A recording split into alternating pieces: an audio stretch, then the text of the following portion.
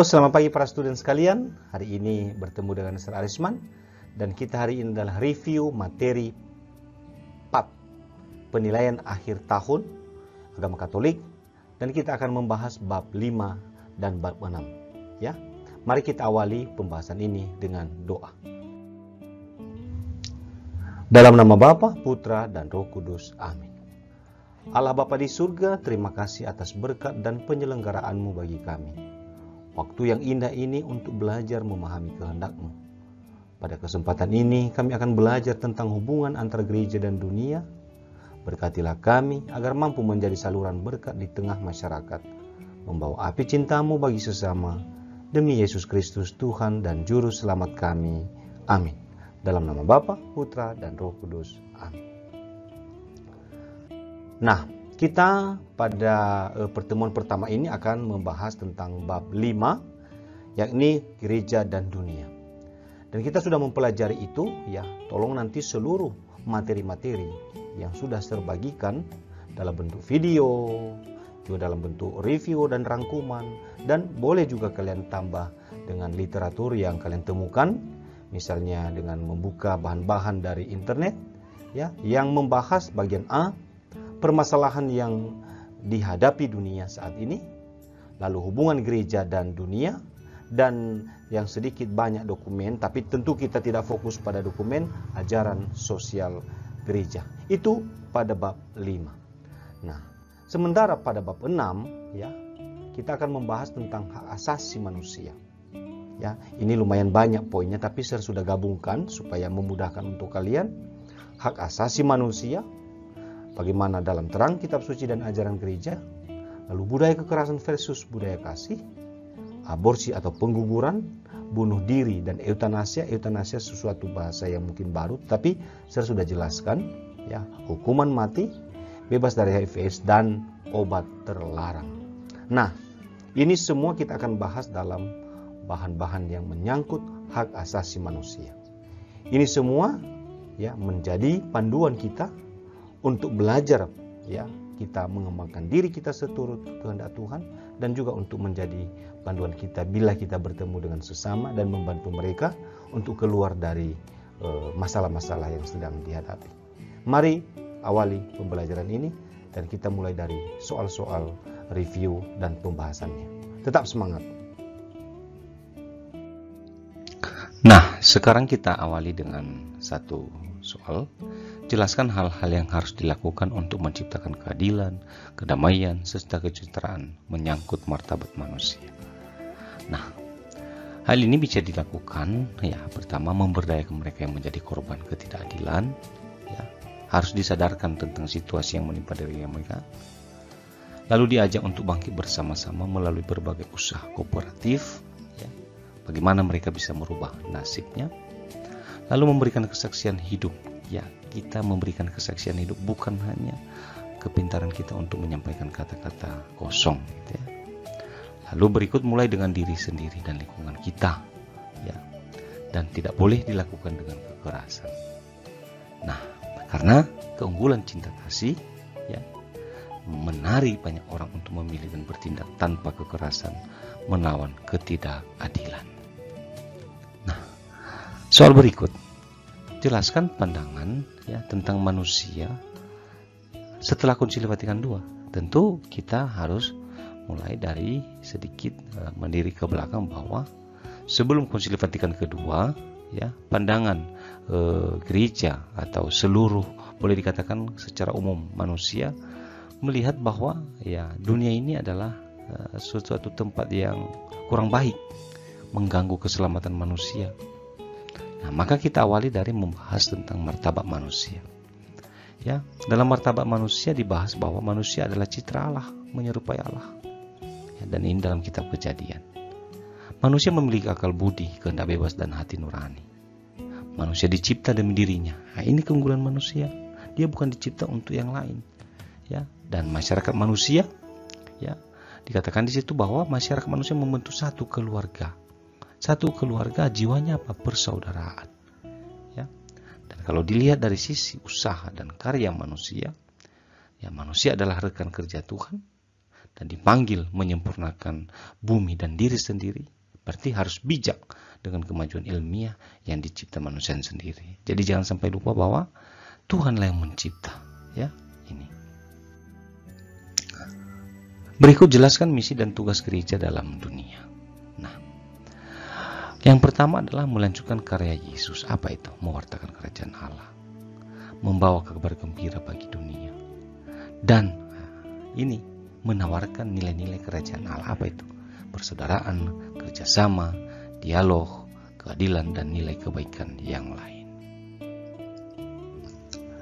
Jelaskan isi dokumen Gaudium Spes, ya, artikel 2 dan 3 tentang dunia dan manusia. Nah, dalam artikel 2 bisa kita baca bahwa dunia dicipta dan dilestarikan oleh cinta kasih sang pencipta, oleh kasihnya Tuhan.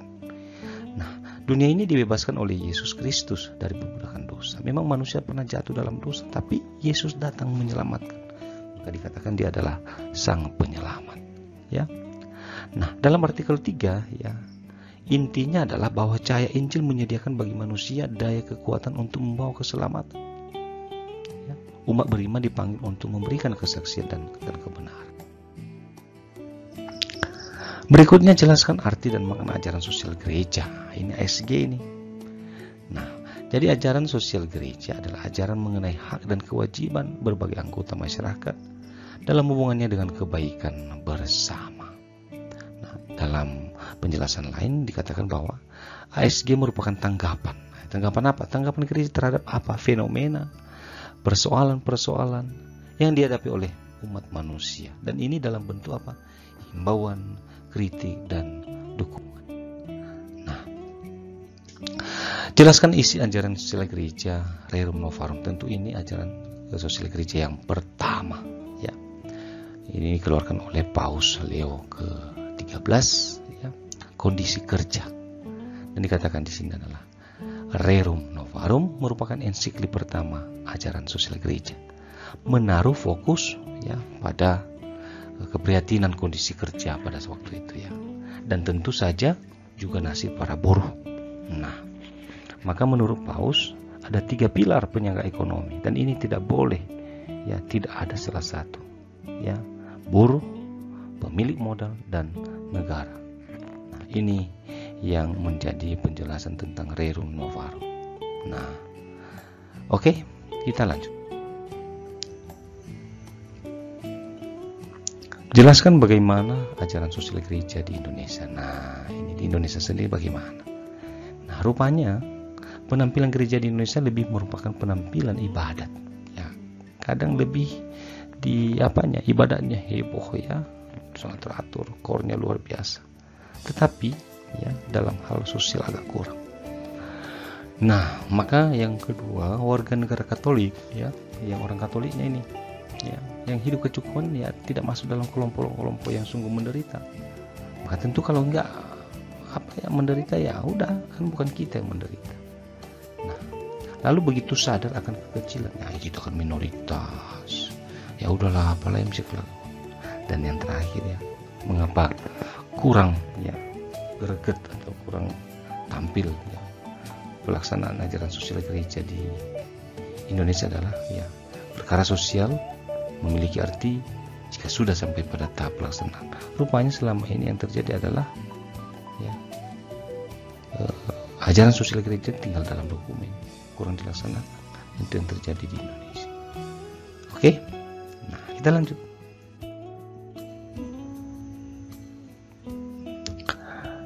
Jelaskan garis besar deklarasi piagam PBB tentang HAM, tentang hak asasi manusia. Dikatakan di sini bahwa piagam PBB tentang hak asasi manusia dideklarasikan pada tanggal 10 Desember 1948 di Paris, ya. Dan ya mukadimah ya terdiri dari pasal 1 sampai pasal 30 ya dan itu digolongkan dalam dua ya kelompok besar hak-hak sipil politik dan hak-hak ekonomi sosial dan budaya. Jelaskan sebab terjadi pelanggaran HAM di Indonesia. Ya, yang pertama ya struktur kemasyarakatan, sistem sosial politik dan ekonomi yang disusun oleh penguasa dan pengusaha. Nah, jadi kerjasama mereka penguasa dan pengusaha ya habis. Ini awal, ya sudah kong kali kong orang-orang yang sangat berpengaruh ya habis. Nah, untuk itu ya eh, dilanjutkan bahwa pembangunan belum eh, menciptakan kesempatan yang luas bagi orang-orang kecil dan pelanggaran terhadap perempuan disebabkan oleh sistem yang diciptakan oleh kaum laki-laki. Nah, ini uh, apa dia uh, ini sebab-sebab yang terjadi ya nah berikutnya jelaskan ajaran kitab suci ya tentang ham nah ajaran kitab suci tentang ham ya dalam kitab suci perjanjian lama disebutkan di situ bahwa orang miskin dan tak berdaya mendapat perhatian khusus dari Tuhan ya nah Tuhan sendiri yang melindungi orang yang tidak mempunyai hak dan kekuatan dan dalam kitab suci perjanjian baru, pewartaan sikap dan tindakan Yesus berpihak pada kaum miskin pada zaman. Lalu boleh dikatakan keterpurukan orang-orang kecil disebabkan oleh kemunafikan dan keserakahan para pemimpin agama dan politik. Nah, Yesus sendiri berani ya dan berdiri pada pihak yang kurang beruntung. Kaum pendosa dan kaum lemah dibelanya. Sebagai murid Yesus, apa yang bisa kita lakukan? Kita harus meneladan sikap dan tindakan Yesus. Kita harus memperjuangkan hak asasi semua orang, terutama kaum tertindas.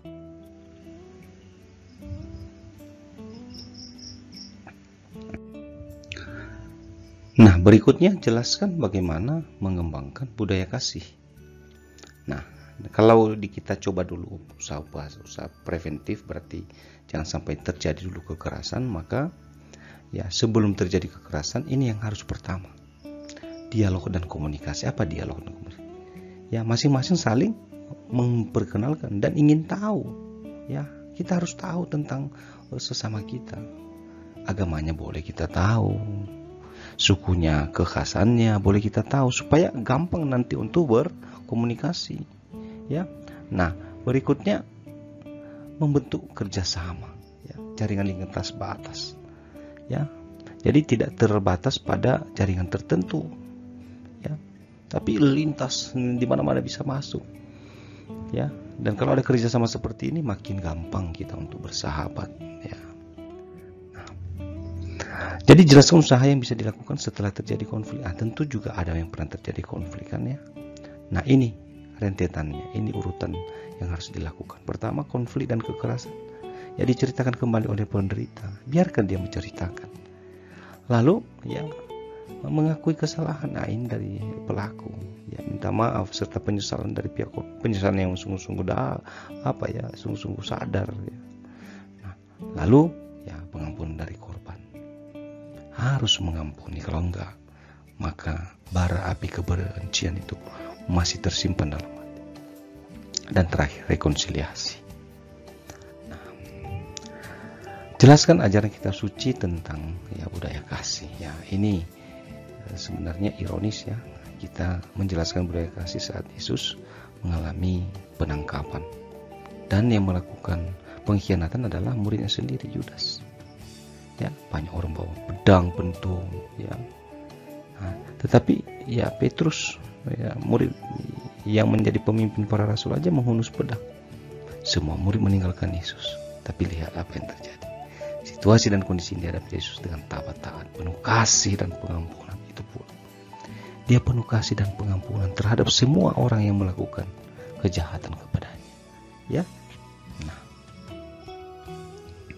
berikan kesimpulan tentang budaya kasih yang diajarkan oleh Yesus budaya kasih adalah mencintai sesama dengan sungguh bahkan mencintai musuh kasih yang berdimensi keagamaan sungguh melampaui kasih manusiawi dan dasar dari kasih Kristen itu adalah keyakinan dan kepercayaan bahwa semua orang adalah putra dan putri Bapa yang sama di surga.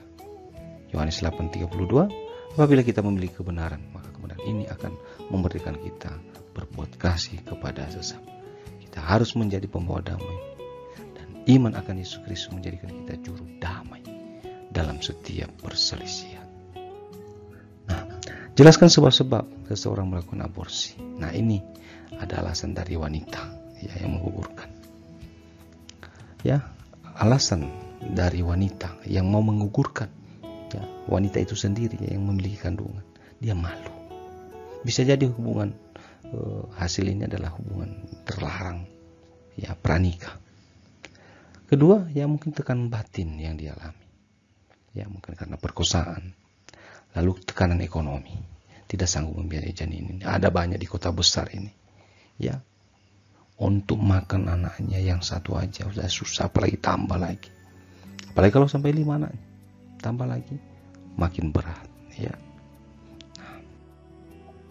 jelaskan alasan dari yang membantu melaksanakan pengukuran nah, alasan utama mungkin karena uang ya karena tentu dibayar mahal mengapa dibayar mahal karena udah tersudut ya mungkin saja ia prihatin dengan keadaan si wanita yang kehamilannya tidak dikehendaki.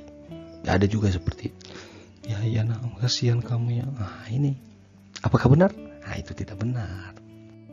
Nah akibatnya apa?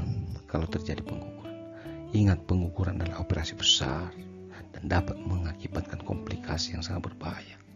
Banyak orang yang akhirnya meninggal saat mengalami keguguran. Nah, wanita dan ibu ya menggugurkan kandungan ini bisa mengalami gangguan-gangguan emosional berat ya. Nah, jelaskan beberapa ajaran kita suci tentang penghargaan manusia sejak dalam kandungan. Nah, dikatakan di sini bahwa Yeremia, Lukas, ya ulangan menjelaskan bahwa Allah sudah mengenal dan mengasihi manusia sejak dalam kandungan. Ya, sejak dalam kandungan Allah sudah mengkehendaki, ya sudah mengasihi, dia sudah kenal kita. Maka tidak ada hak kita. Hanya Allah yang berhak membuka dan menutup kandungan. Dialah yang berhak memberi dan mencabut kehidupan. Enggak ada kita. Ya, biarkan dia kalau hidup. Biarkan. Ya. Misalnya ekonomi, biarkan rezeki dibuka oleh Tuhan. Kalau kita ada kerja keras, ada usaha. Jelaskan ajaran gereja tentang aborsi. Nah, ini dia. Konsili Vatikan kedua, ya, dalam Gaudium Spes itu nanti Humane Vitae, dalam Veritatis Splendor, ya, menyebut apa? Pengguguran merupakan suatu tindakan kejahatan yang durhaka sama dengan pembunuhan anak. Nah, sekaligus digarisbawahi oleh KHK Kitab Hukum Kanonik ya, mengenakan hukuman ekskomunikasi pada setiap orang yang aktif terlibat dalam mengusahakan pengukuran kandungan dan pengukuran itu berhasil. Nah, Jelaskan pengertian tentang bunuh diri, euthanasia, hukuman mati, narkoba, dan nah, ini banyak nanti kita jelaskan ya setelah seperti yang pernah saya jelaskan dalam slide yang lalu.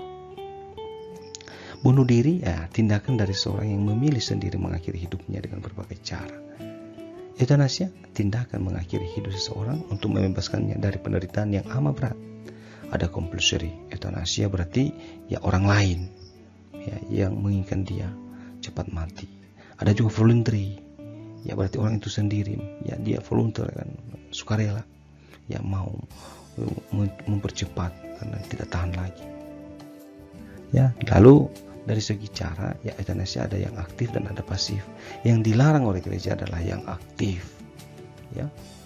Tapi kalau pasif misalnya tanpa dimulai ya dimulai juga obat itu sia-sia maka ya kadang-kadang dibiarkan sehingga akhirnya meninggal. Hukuman mati ialah ya suatu hukuman atau vonis yang dijatuhkan pengadilan ya atau tanpa pengadilan sebagai hukuman terberat yang dijatuhkan atas seseorang akibat perbuatannya. Beberapa cara yang biasanya eh, dalam beberapa tradisi nenek moyang kita juga sudah ada ya pancung, sengatan listrik, gantung, suntik mati, tembak atau rajam. Ya. Nah, narkoba adalah singkatan dari narkotika, psikotropika, dan bahan adiktif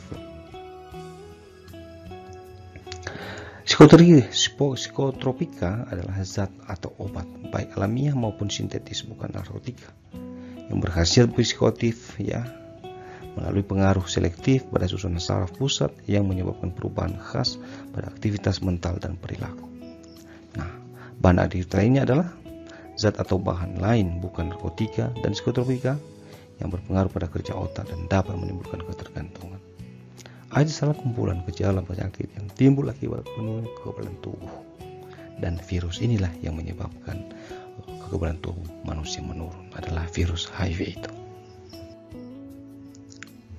Nah, jelaskan ajaran kitab suci dan ajaran gereja tentang mengenai hidup dan kehidupan. Manusia hidup karena diciptakan, ya, diciptakan dan dikasihi Allah. Kitab suci menyatakan bahwa nyawa manusia tidak boleh diremehkan. Nah, itu Markus 8:37. Tak ada sesuatu yang dapat diberikan sebagai ganti nyawa.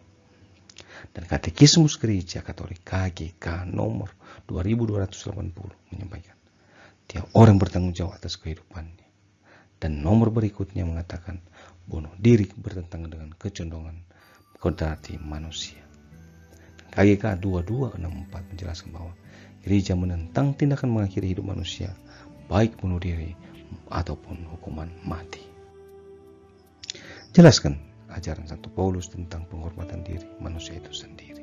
Nah ini dari 1 Korintus 3 ayat 16. Santo Paulus menghimbau orang beriman untuk menghormati dirinya sebagai bait Allah. Diri kita ini adalah bait Allah. 1 Korintus 3 ayat 16 kekacauan diri kita akibat narkoba, pergaulan bebas akan merusak bait Allah. Karena bila narkoba, HIV AIDS telah merusak manusia, maka manusia sulit untuk menggerakkan akal budi, hati dan perilakunya menurut kehendak Allah. Tentu sudah kacau. Maka ingat, dalam tubuhmu ada. Karena tubuhmu adalah rumahnya. Nah, sekian uh, review kita. Ya tentu kamu harus tambah ya.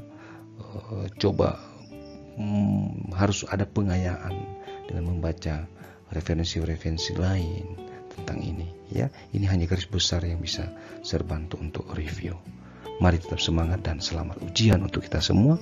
Kita tutup dengan doa salam Maria dalam nama Bapa dan Putra dan Roh Kudus amin salam Maria penuh rahmat Tuhan sertamu terpujilah engkau di antara wanita dan terpujilah buat tubuh Yesus.